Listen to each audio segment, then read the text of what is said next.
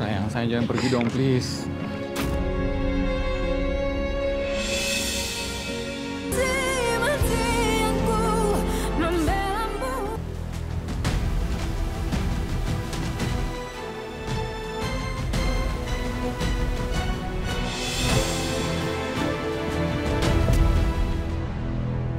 Kenapa orang itu datang? Di saat aku sudah berusaha mati-matian melupakan semua kenangan pahit itu.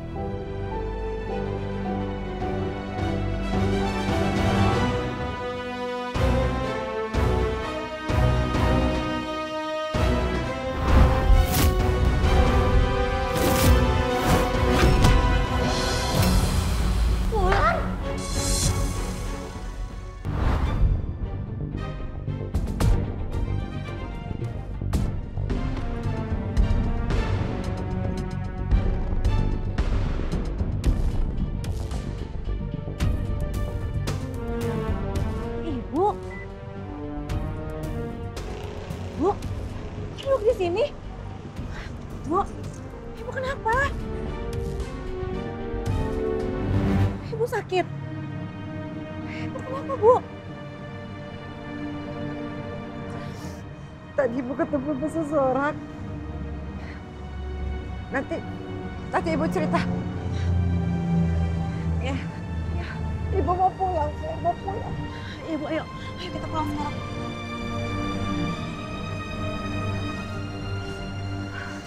Pelan-pelan jalannya. Aku harus kejar Lia. Aku nggak bisa kehilangan Lia. Sama seperti aku kehilangan Rosa. Aku juga nggak bisa kehilangan anak aku.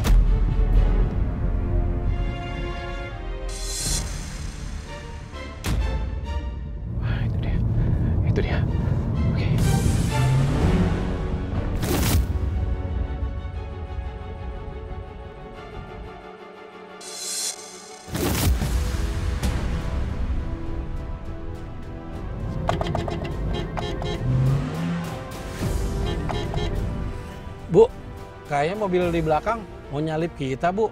Apa Ibu kenal dengan mobil itu, Bu?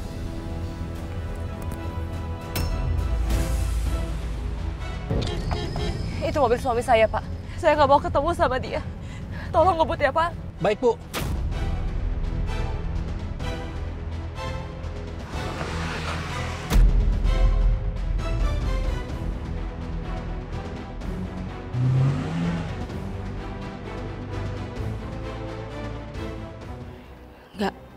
Kali ini aku nggak boleh semudah itu maafin Mas Alvino.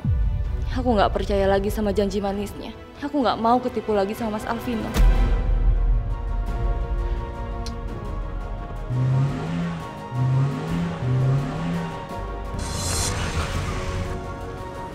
Lia! Lia sayang! Tolong berhenti sayang. Ayo turun. Aku bisa jelasin semuanya. Aku mohon Lia. Sayang, dengerin penjelasan aku dulu. Lia!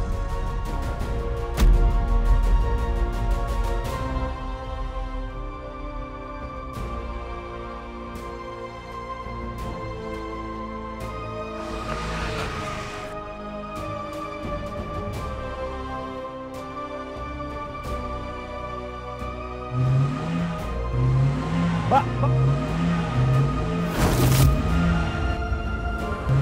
Lia! Lia sayang! Bu, gimana nih, Bu?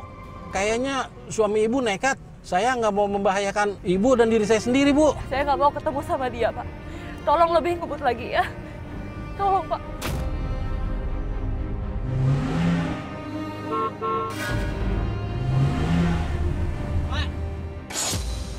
Pak, stop Pak! Istri saya lagi hamil Pak, tolong berhenti Pak!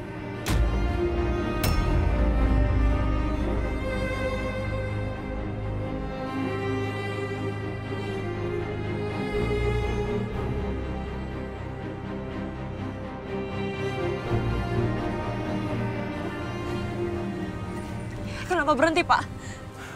Maaf, Bu. Ibu kan lagi hamil. Saya nggak mau ambil resiko. Nanti kalau Ibu kenapa-napa, saya ngebut. Saya bisa kehilangan kerjaan saya, Bu. Ya, sayang, ayo keluar. Pak, Pak, Pak, buka pintunya, Pak. J jangan, Pak.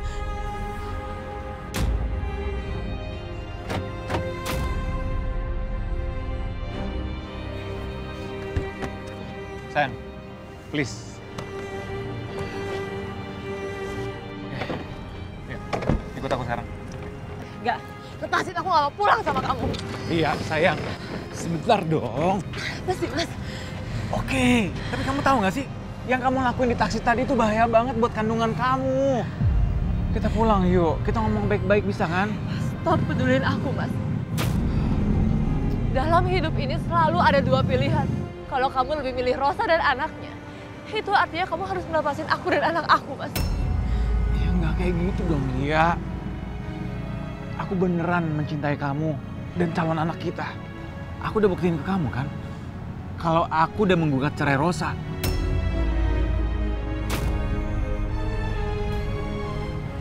Iya mas. Tapi sampai kapan pun, kamu gak akan pernah bisa ngelupain Rosa. Bahkan nanti anak kamu dengan Rosa itu bakal kamu jadiin alasan buat kamu ketemu terus sama Rosa, Mas. Sampai kapan pun, istri sah akan selalu menang. Karena cinta kamu udah habis untuk Rosa, Mas.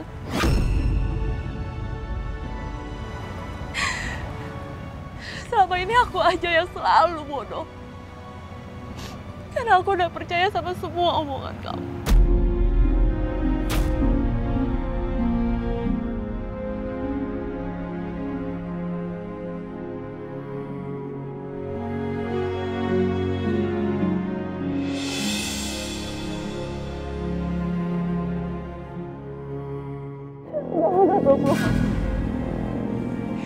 Aku cuma minta kamu lepasin aku.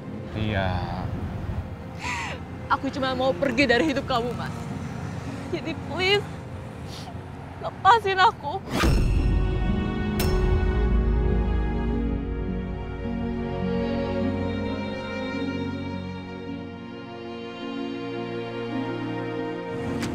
Sayang, sayang jangan pergi dong, please.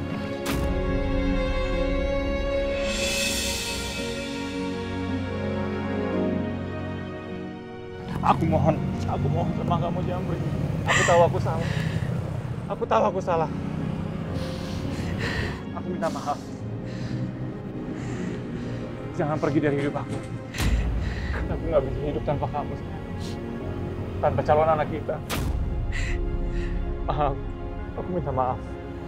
Mau sampai kapan?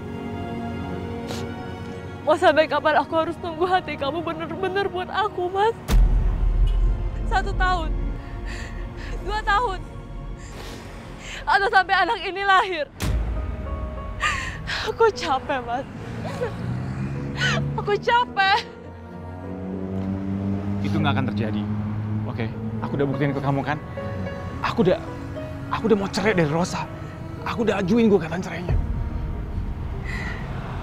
Aku janji, aku akan berusaha sebisa aku untuk melupakan Rosa. Bohong. Sumpah. Aku sumpah demi kamu, demi salon bayi kita. Aku janji. Aku janji, sayang. Oke? Please.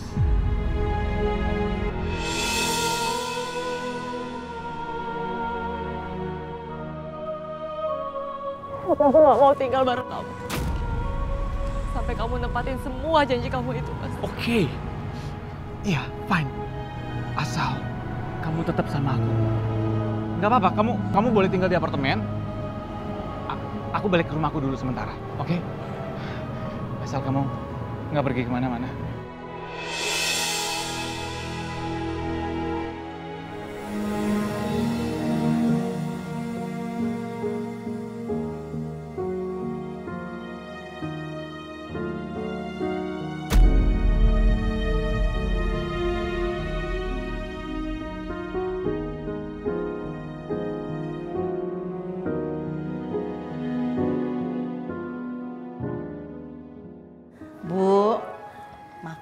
Banyak.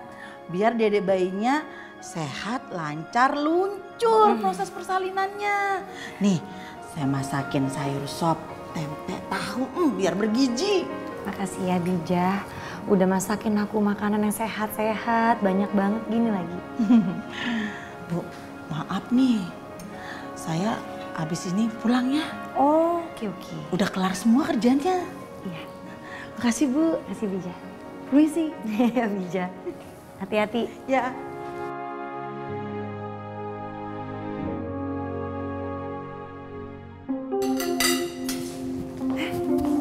Bu. Ya udah. Ibu kenapa?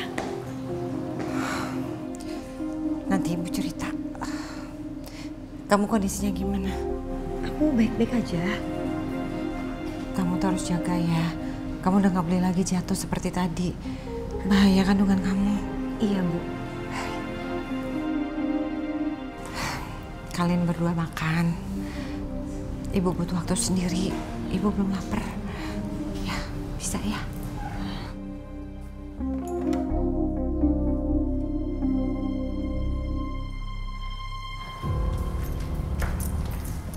Ibu kenapa? Tadi tuh ibu ketemu sama seseorang kak di jalan deket kafe. Terus kayaknya mereka berantem deh. Hah? Sama siapa? Aku nggak tahu sama siapa. Terus di jalan ibu diem aja. Pasti masalahnya berat sih. Ya udah nanti aku tanya sama ibu deh. Tunggu ibu tenang dulu. Kamu ikut makan aja sama aku sini. Bentar, aku ambil piring dulu.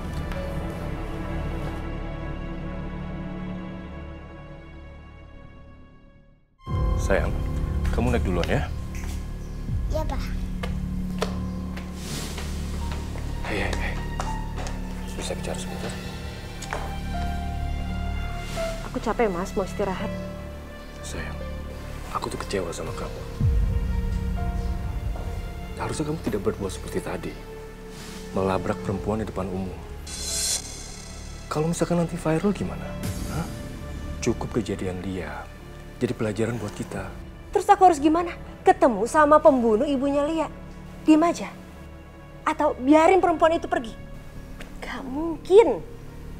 Ya, ya nggak gitu, sayang. Kamu kan bisa ajak dia bicara baik-baik.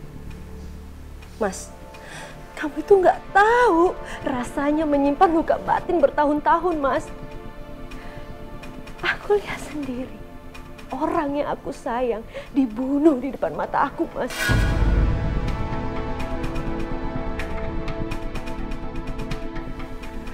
Aku nggak akan pernah membiarkan hidup perempuan itu baik-baik aja.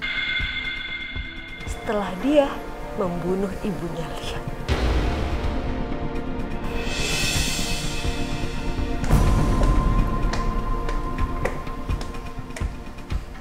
Assalamualaikum. Waalaikumsalam.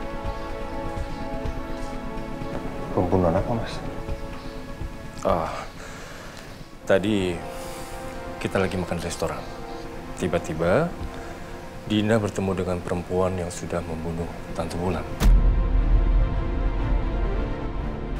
Mamanya Lia.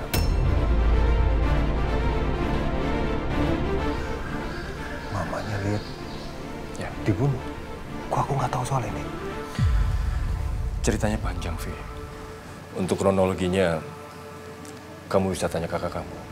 Cuman yang aku nggak suka, kenapa dia harus melabrak perempuan itu depan umum? Kalau ini viral lagi gimana? Vi, mungkin kamu bisa bantu aku untuk menasihati Dina. Kejadian ini itu sudah puluhan tahun. Ngapain sih menyimpan dendam?